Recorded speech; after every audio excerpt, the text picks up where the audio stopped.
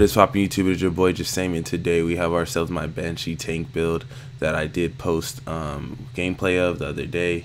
A lot of people have been wanting to know like why is it so tanky and how does it work exactly. So without further ado, let's get into my stats. You can see I got 5100 firearms, 6900 stamina, 2800 electronics. Um, throughout the whole 1.6 meta, everybody's been saying don't run stamina, it's useless, it's useless, it's useless. But I'm here to tell you there is a reason to roll stamina if you wanted to have this playstyle. So the weapon I'm using is Navy MP5. Um, you can see it's very low um, base damage but for a reason I'll get into it. I have deadly, responsive, and competent, so I can get the full damage out of having no base damage versus having to run super super like glass cannon able to do damage. I can get upwards to like I believe like 21k um, base damage after competent and adding responsive and adding the 10% out of cover, adding all those things. So I'm able to kill people.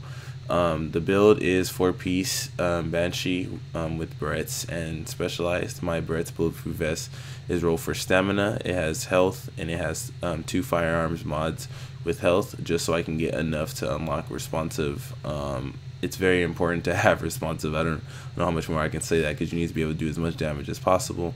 Banshee Shadow Mask with crit chance and uh, also roll for stamina.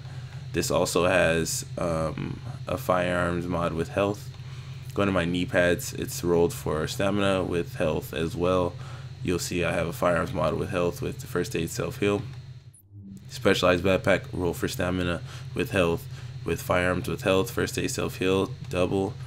I don't need savage gloves, so I'm rocking Banshee Shadow gloves. You know, the best version I can since I'm using SMG.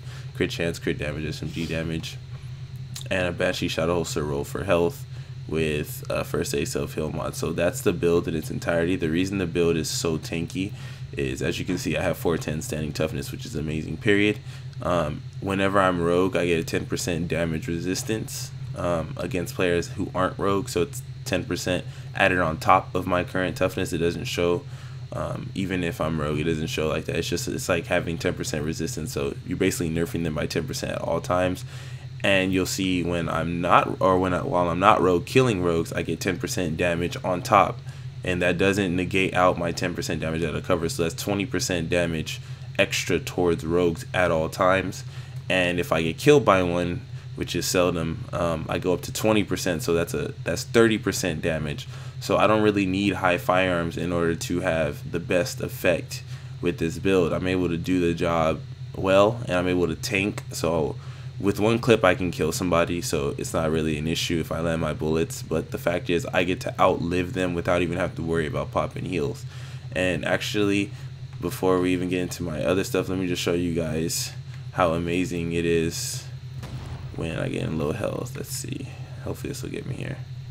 Yeah, so if I pop this, pop this with this, you'll see my toughness goes up to 594 and that's not including the 10% damage reduction while I'm rogue.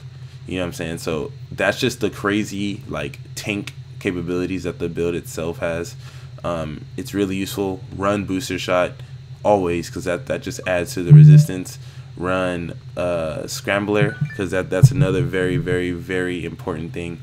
Um, if you negate all their crits buffs that they get from their pulses it's just amazing. It just works out perfectly fine with the abilities that you do have and the resistances that you have. You're just able just to basically tank any build. I don't care. Even if they have a crit ult out, you you can comfortably just run around hip firing or face tank them for a little bit without even worrying. Especially if you have your crit save proc. It's just ridiculous. Um, the talents I use triage um, because I do play this with a team build a lot and I like getting my skills back. So this gives me like a little sense of uh, tactician's authority with it critical save, one of the most important, if not the most important thing for this build in particular.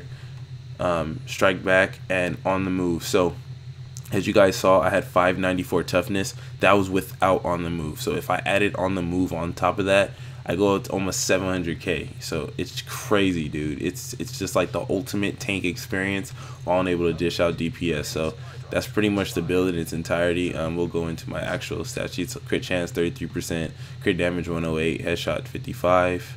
Um, we'll go to my survivability 280k max health 31% um, armor mitigation and that's not including you know when Barrett's procs and when the proc that I have from Banshee so Add all this up, you have critical save on the move, booster shot with Barrett's bulletproof on cooldown with the 10% reduction while you're rogue or the 20% if you get killed by rogue. So just add all those buffs up and you have the tankiest DZ build ever. So yeah, that's pretty much it. Hopefully you guys enjoyed it. Um, I'll be have I'll be posting more gameplay on it. Um, I actually had a long gameplay that I posted yesterday on it. If you guys whoever didn't see the last video, um, that's the gameplay on it. So without further ado, thank you guys for stopping by.